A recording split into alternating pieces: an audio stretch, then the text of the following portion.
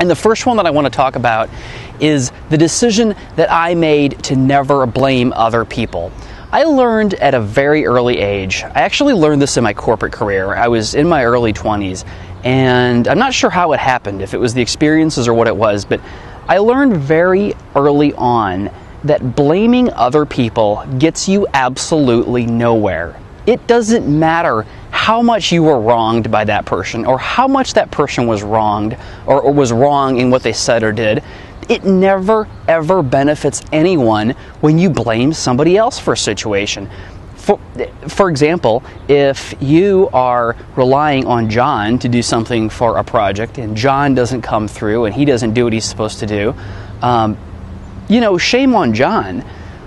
But you've got two ways that you can look at that you can either blame John and let John be the person who is in control of the situation and it's their fault and they're a horrible person, or you can look at the situation like I do, which is how can I handle that situation differently next time?